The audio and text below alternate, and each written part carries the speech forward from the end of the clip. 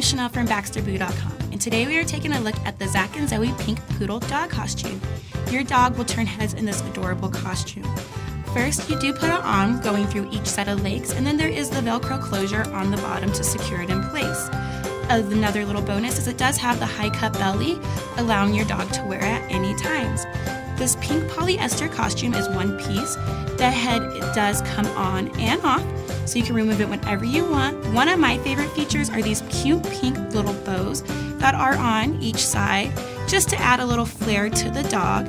Another cool thing is there is the leash hole, so you could put this on over the collar or the harness, put the leash through it, and take your dog out on a walk. It does have the curly head, and then each leg cuff does have the curls, and then it has the fun pom pom tail.